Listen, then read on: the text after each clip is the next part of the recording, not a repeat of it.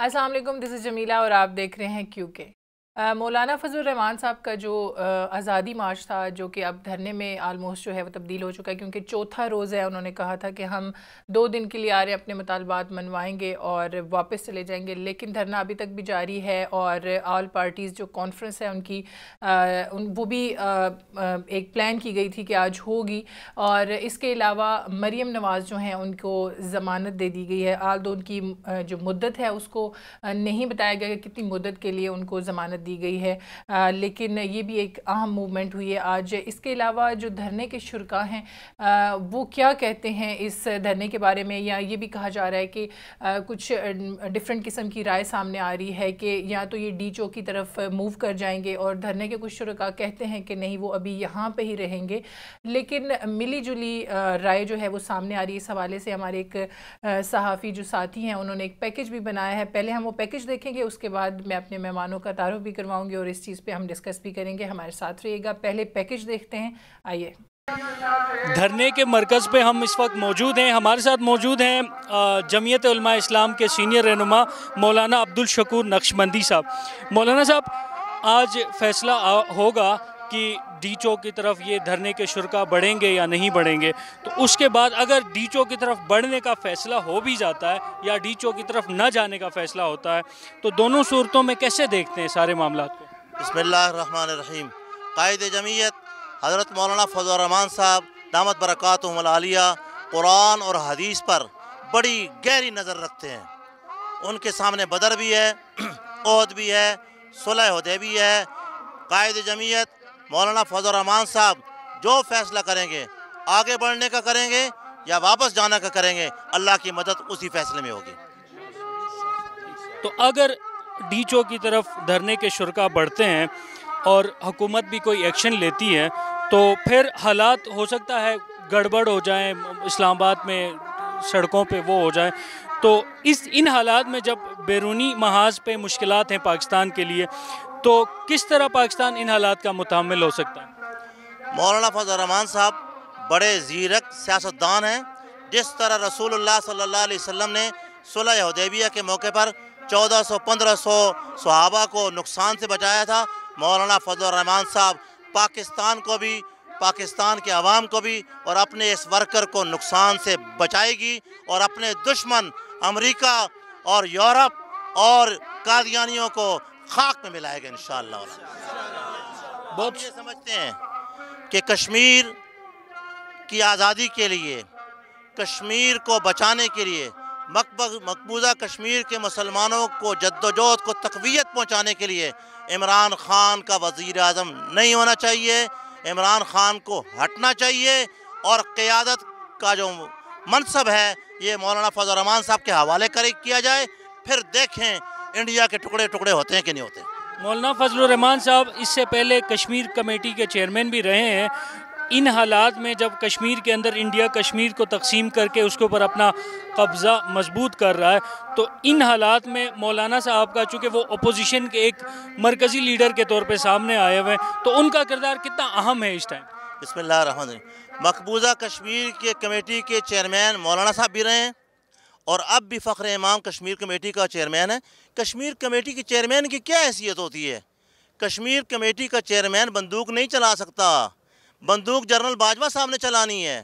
بندوق جنرل فیض حمید صاحب نے چلانی ہے۔ آج ہمارا مخالف بار بار کہتا ہے کہ مولانا صاحب اتنی مرتبہ کشمیر کمیٹی کے چیئرمین رہے چیئرمین رہے۔ آج وزیر اعظم عمران خان ہے نا؟ یہ تو اس کمیٹی سے بھی بڑھ کر ہے۔ آج یہ بندوق چلائے نا ہم اس کو مانتے ہیں۔ یہ تقریریں کرتا ہے۔ تقریریں کرنا ہم کمزور لوگوں کا کام ہے۔ مظاہرے کرنا ہم کمزور لوگوں کا کام ہے۔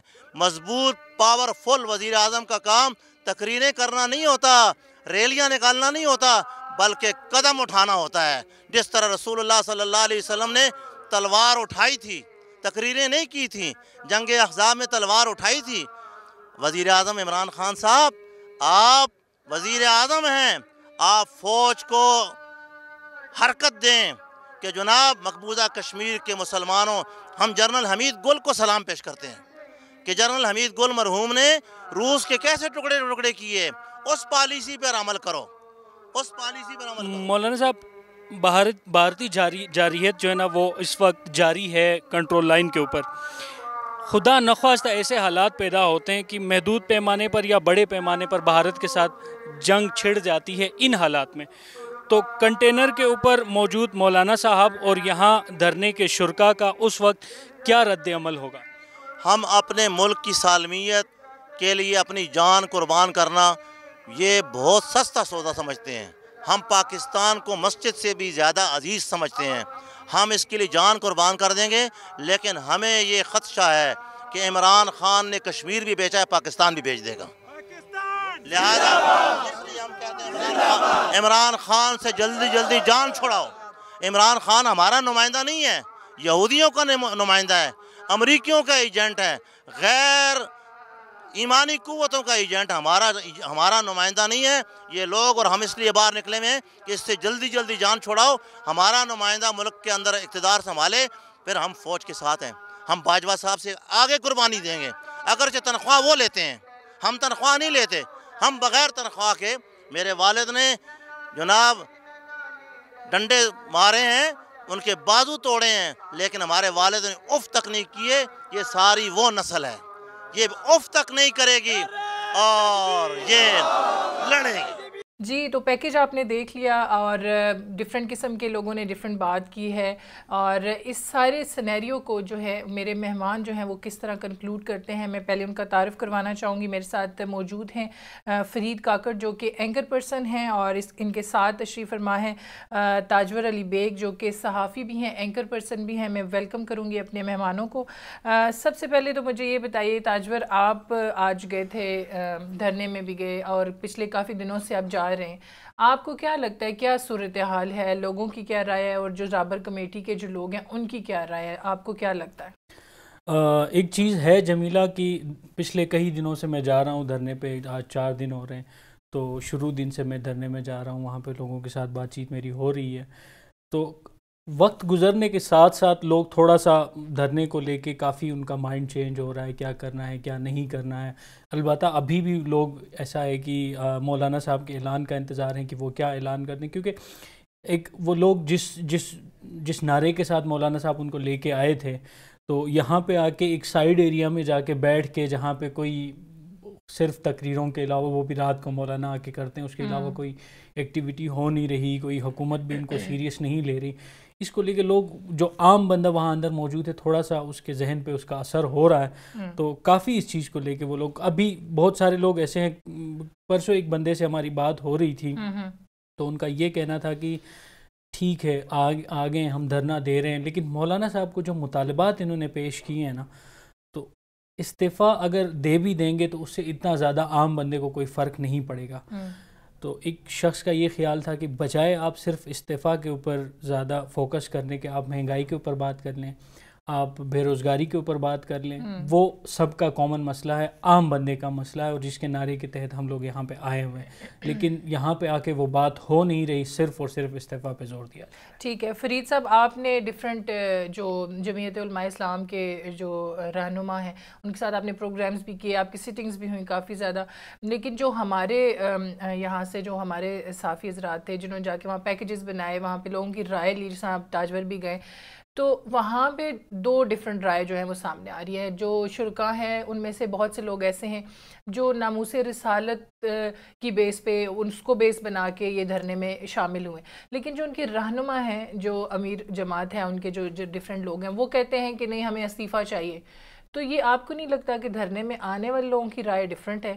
اور جو رہنما ہیں وہ ڈفرینٹ ہے۔ اس میں کوئی کلیش اگر کسی پوائنٹ پہ آ جائے تو پھر پارٹی کے لیے بھی مسئلہ بنے گا۔ دیکھیں پہلے تو جمعیت علماء اسلام کے جو کارکنان ہیں ان کو نیچر کو سمجھنے کی جو ہے وہ شدید ضرورت ہے۔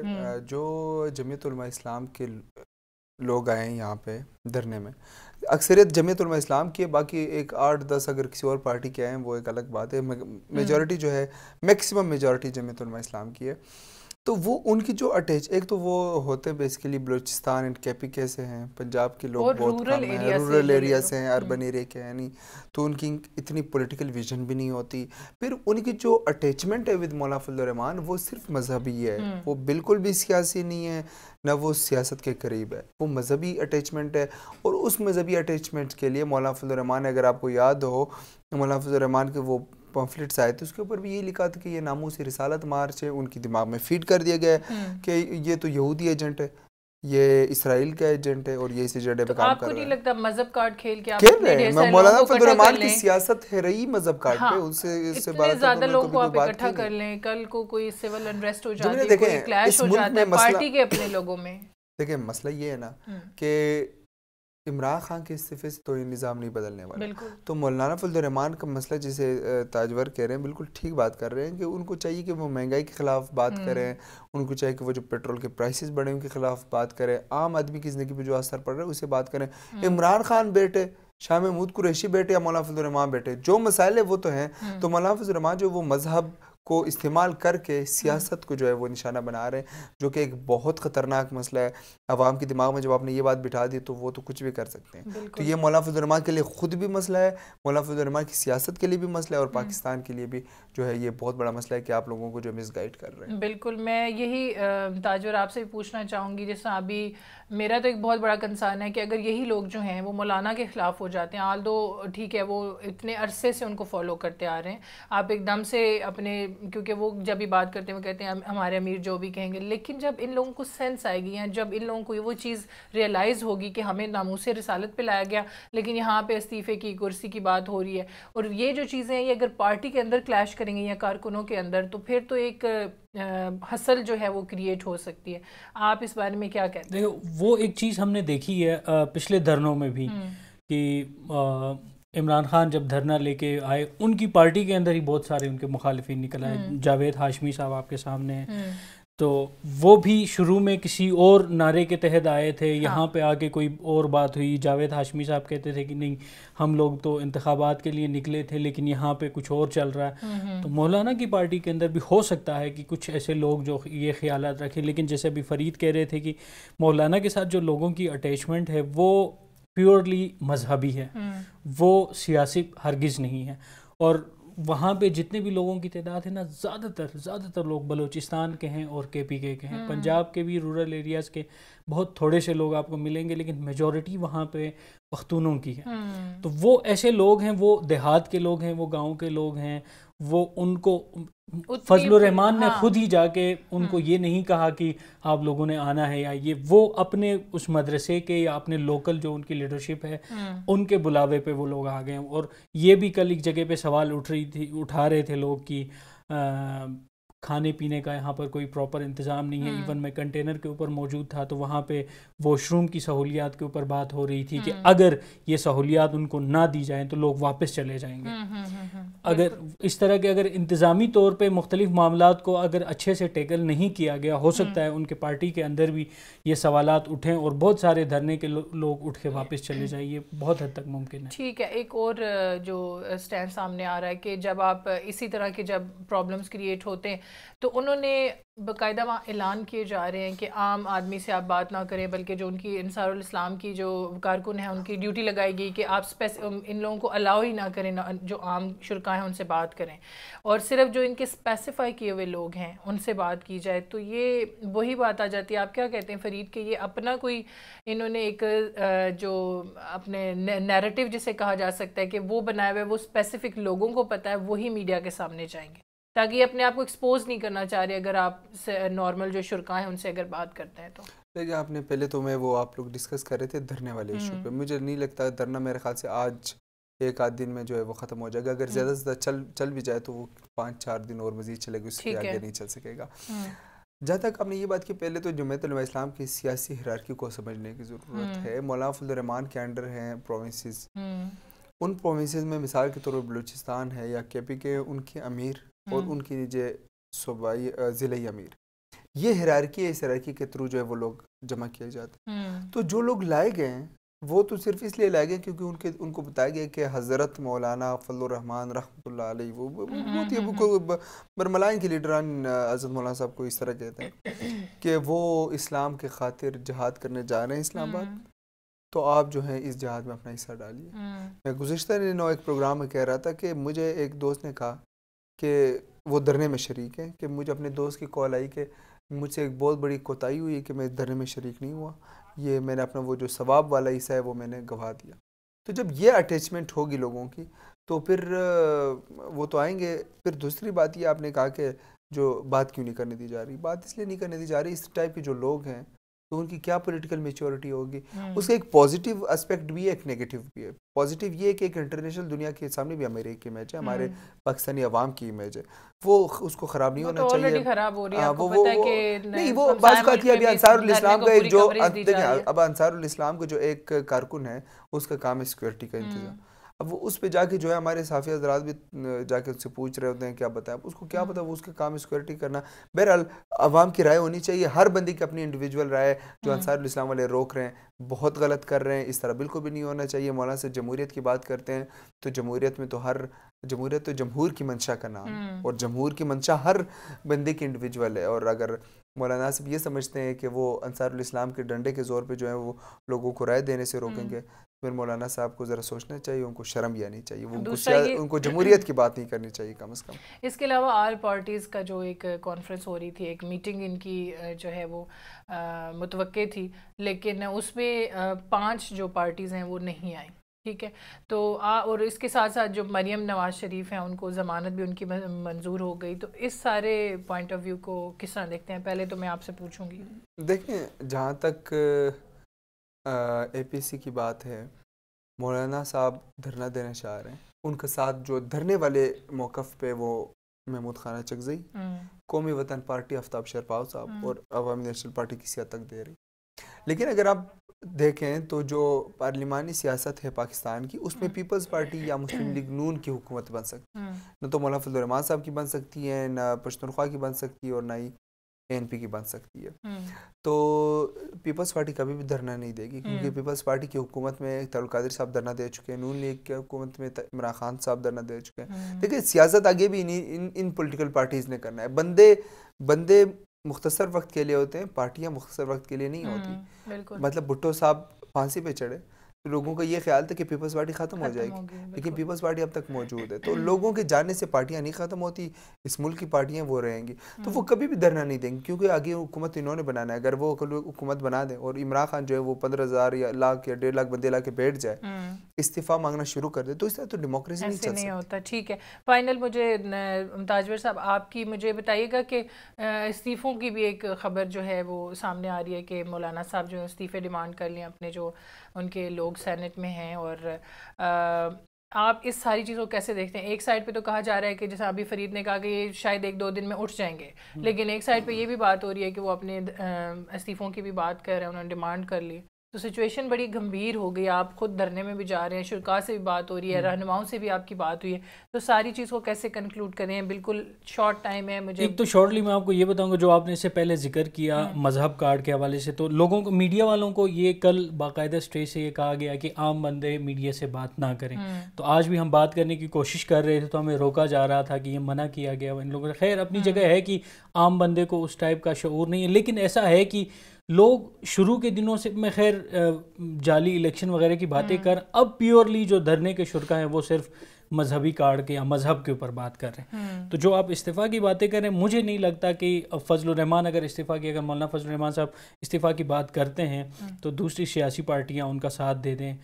جیسے کہ پیپلز پارٹی ہو اور مسلم لیگ نون ہو وہ اس چیز میں ان کا ساتھ نہیں دیں کیونکہ ان کو پتہ ہے کہ پیپلز پارٹی کا بھی سندھ کے اندر حالیہ جو لاڑکانہ سے پیپلز پارٹی ہاری ہے اگر وہ استعفیٰ دے دے تو ان کو صوبائی اسمبلیوں سے بھی استعفیٰ دینا پڑے گا۔ اور اس کے بعد اب حالیہ جو حالات انہوں نے دیکھیں کہ ہو سکتا ہے جتنی سیٹیں ابھی ان کے پاس ہیں تو ہو سکتا ہے اور کم سیٹیں ان کے پاس آ جائیں۔ اور ساتھ نون لیگ کے بھی یہی حالات ہیں کہ پنجاب کے اندر نواز شریف صاحب اسپتال میں ہیں خاقان عباسی صاحب اسپتال میں ہیں خود شہباز شریف اور آپس میں بھی ان کی دڑے بندی ہے۔ تو یہ اس ٹائم دوبارہ اگر ری الیکشن ہوتے ہیں تو وہ کسی کو سوٹ نہیں کرے گا۔ اور مولانا صاحب یہاں سے دھرنے سے اگر ناکام ہو کے واپس چلے جاتے ہیں تو وہ ایون مولانا صاحب کو بھی سوٹ نہیں کرے گا۔ تو اس وقت الیکشن کے کوئی مجھے نہیں لگتا کہ بڑی جو پارٹیاں ہیں مسلم لیگ نون اور پیپلز پارٹی وہ اس کام میں مولانا کا ساتھ دے دیں ٹھیک ہے آپ فرید آپ کچھ کہہ رہے ہیں میں کہہ رہا ہوں مولانا نے جو استعفے طلب کیے وہ تو اپنی پولیٹیکل پارٹی کے جو قومی اسمبلی اور صوبائی اسمبلی کے ممبران ہیں ان سے استعفے طلب کیے لیکن بات یہ مولانا فضل الرحمان کے دو یا تین یا چار استعفوں سے کچھ نہیں ہوتا۔ بات یہ کہ اس ملک کو اور اب دیکھ لیں اب تاجور نے لاڑکانہ کی بات کی۔ لاڑکانہ میں بلاول بھٹو زرداری جیتے ہیں۔ خالد محمود سمرو سے کہ ان سے جیتے ہیں۔ اب بلوچستان میں دیکھیں محمود خان چکزی ہارے ہیں صلاح الدین ایوبی سے۔ صلاح الدین ایوبی اور محمود خان چکزی دونوں ایک ہی کنٹینر پہ کھڑے ہو کے کہہ رہے ہیں داندلی ہوئی۔ وہ بھائی آپس میں پوچھو کس نے کس نے داندلی کیا محمود خان چکزی آ رہے ہیں صلاح الدین ایوبی سے۔ ایک ہی کنٹینر پہ کھڑے ہو گئے وہ کیا وہ محمود اور ایاز ایک ہی صف میں کھڑے ہو گئے محمود اور ایاز۔ تو وہ دونوں ایک ساتھ کھڑے مولانا کو بھی سوچنا چاہیے اگر جمہوریت چاہیے اگر سول سپریمیسی چاہیے شفاف انتخابات چاہیے تو تمام پولیٹیکل پارٹیز کو آن بورڈ ہو کے ٹی او آر طے کرنے ہوں گے اور پھر شفاف انتخابات کرنے ہوں گے ورنہ یہ آپس میں ہی پوچھتے رہیں کہ کس نے دان لی کس نے دان لی بہت شکریہ۔ جیسے کہ میرے جو مہمان ہیں، انہوں نے بھی کہا کہ پہلے آپ خود تو کلیئر ہو جائیں کہ دھاندلی کہاں ہوئی ہے اور اگر ایک ہی حلقے کے دو لوگ جو ایک دوسرے کے مخالف کھڑے تھے اور وہی آ کے کہتے ہیں کہ کنٹینر پہ کھڑے ہو کے جی دھاندلی ہوئی ہے، تو وہ کس سے سوال پوچھ رہے ہیں؟ اور اس کے علاوہ دیکھتے ہیں کہ یہ جو آزادی مارچ ہے، یہ مزید دھرنے کی صورت اختیار کرتا ہے یا ڈی چوک میں یہ لوگ شفٹ ہوتے ہیں، کیا موومنٹ ہوتی ہے؟ اور مریم نواز کی جو ضمانت دی گئی ہے، یہ کس طرح کا ایک سٹیپ ہے؟ یہ تو وقت اور حالات ہی بتائیں گے۔ آج تک کی ایپیسوڈ کے لیے اتنا ہی۔ نیکسٹ کے لیے مجھے اجازت دیجیے اللہ حافظ۔